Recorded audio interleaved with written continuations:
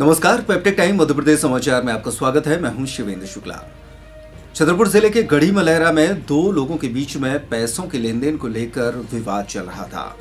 बाद में विवाद इतना ज़्यादा बढ़ा कि फिर नौबत मारपीट तक आ गई। इस मारपीट में एक महिला घायल हुई है, जिसे प्राथमिक उपचार के बाद जिला अस्पताल में भर्ती कराया गया। जानकारी के मुताबिक शुक्रवार को प्रेमचंद चौरसिया और राजा जोशी के बीच पैसों के लेन देन को लेकर विवाद हो गया।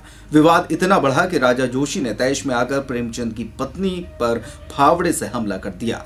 घायल अवस्था में प्रेमचंद अपनी पत्नी को लेकर गड़ी मलहरा के स्वास्थ्य केंद्र पहुँचे जहाँ चिकित्सकों ने प्राथमिक उपचार करने के बाद जिला अस्पताल रेफर कर दिया है। वार्ड नंबर आठ का रहने वाला है। जी।